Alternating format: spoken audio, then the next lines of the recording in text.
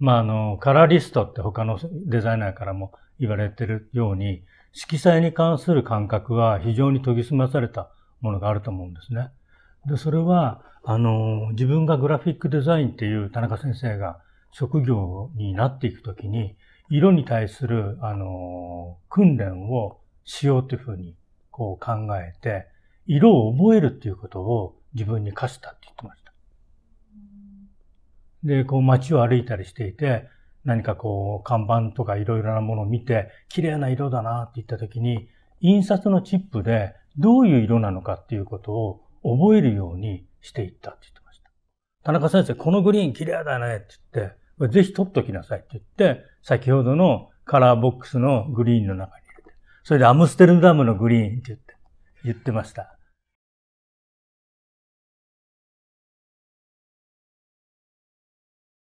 これはすごくはっきりしてまして、えー、1974年の7月31日。先ほどの初めて会ったというのは、見学者、見物者として、第三者として遠目にあの人が田中一行だなって見たんですけど、あの大学生から就職をしなきゃならない時期の時に、あの、田中先生のオフィスで働きたいっていうふうにして、ちょっとこう、アプローチしてたんですけど、あの、1975年の11月の下旬に、明日来なさいって連絡がスタッフから入って行ったんですね。で面接していただいて、まあ、そこが実際に初めてあの、こう対面したっていうことではあるかなと思うんですね。で、その時に、あの、最後に言っていただいた言葉は、君そんなにデザインが好きだったら、うちでアルバイトでもするか言ってくださって。よろしくお願いします。で、カレンダー見て、じゃあ12月3日から来なさい。で、それで、あの、まだ学生だったんですけど、12月の3日から毎日アルバイトに行って、で、そのまま翌年、76年の4月から正社員として、で、あと10年間勤めてました。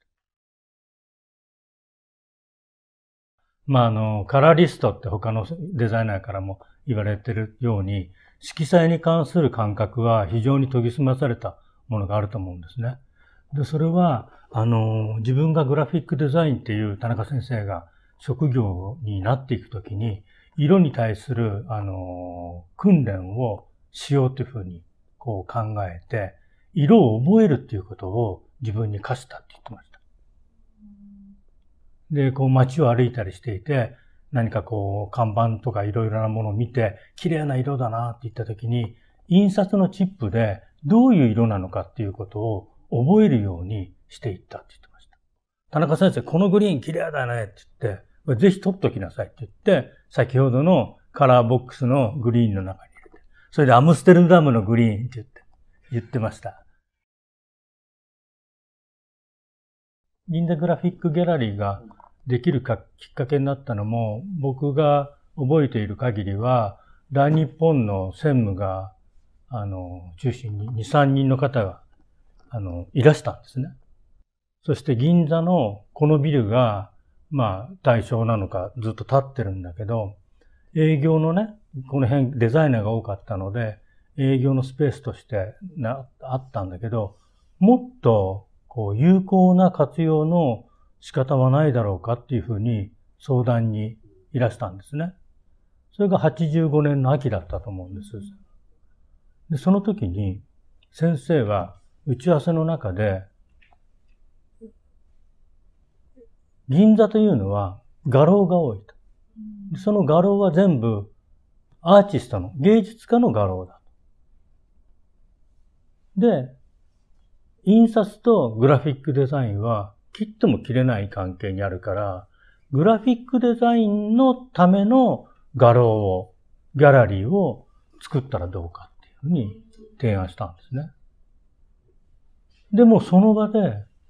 銀座にあるグラフィックデザインのギャラリーだから GGG というイニシャルでロゴマークを作って運営していったらいい。で、その後30年以上こうやって活動が続いてる。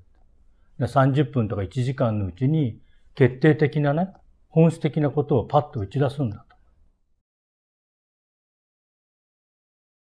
あの、拙い力ですけど、一つ一つの仕事には向き合ってるつもりでやってます。それが先生から一番教わったことじゃないかなと思う。